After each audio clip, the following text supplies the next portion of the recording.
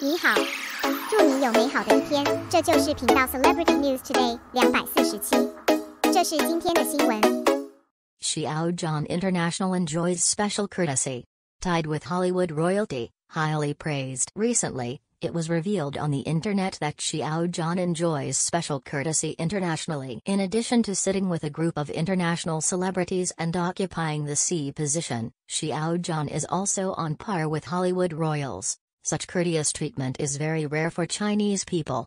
It is worth mentioning that Xiao Zhan has always been highly praised at home and abroad.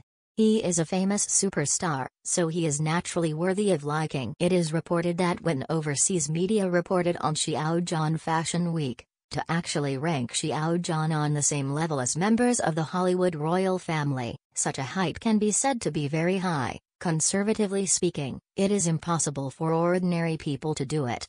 Then again, the frequency of foreign media reports on Xiao Zhan and comments on Xiao Zhan, internal entertainment is rarely achieved by celebrity artists. Xiao Zhan is a preference, and it is reasonable and reasonable to enjoy extremely high courtesy. Judging from the reactions of the fans, everyone said that there is no problem with Xiao Zhan's high praise. Xiao Zhan's achievements and personal status are completely worthy of it.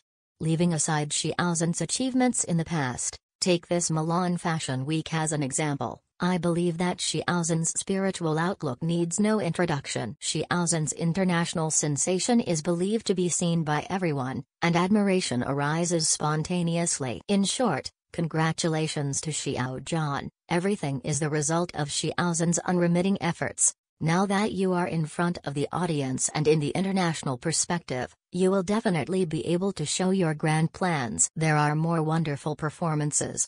The road ahead is long, and Xiao Zhan's acting career is also long. The road may be tortuous and difficult to avoid, but the prospects for development are bright and bright. Xiao Zhan is worthy of saying that the future can be expected. Continue to work hard, and win more glory for the country.